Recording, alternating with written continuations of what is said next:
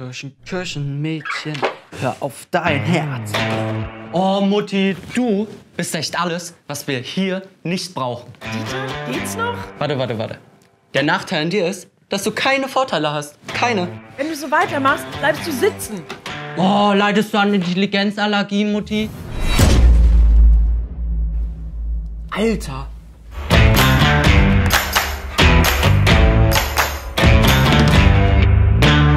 Kirchen, Kirchenmädchen. Mensch, Dieter, probier's doch mal auf Englisch.